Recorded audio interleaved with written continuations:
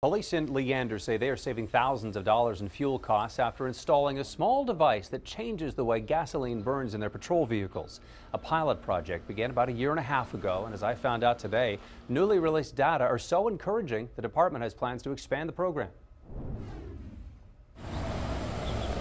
The need to innovate started with a little budget crisis at Leander PD. It happened to us a few years ago. We started getting a pinch. We were like getting down to the end of the budget year and starting to run out of gas money. Today, one solution is tucked under the hood of this police Chevy Tahoe. We believe, yeah, it's it's saving us. Uh, we've estimated close to about ten thousand dollars. That's significant in a $130,000 fuel budget, money that can be put to other uses like training or new equipment. So, what is this metal tube? The fuel ecosystem is a $400 cylinder filled with a copper mesh filter attached to the vehicle's fuel line.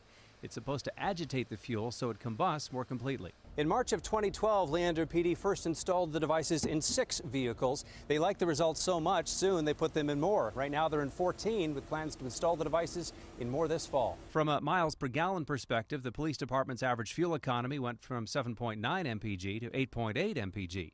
That's more than a 12% average improvement. We first met the man who distributes the devices back in 2005. That's when a KXAN vehicle was outfitted with the fuel ecosystem. In a short city drive, our own testing did show some decrease in carbon monoxide output. Today, he told us Americans can be slow to adapt to change. Why isn't there a critical mass on this? I think it has a lot to do with skepticism. Uh, other products that, like you mentioned, does not work. And if one doesn't work, then probably none of them work. And that's what I've come across. But one local police department, it seems, is a happy customer. It's whatever we can do to save some money.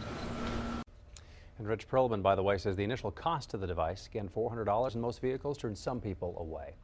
And Leander police aren't the only law enforcement agencies trying to find cost savings in their fleets. Got some photos for you here. Austin police have taken delivery of a couple dozen of these new Ford Explorer flex fuel vehicles.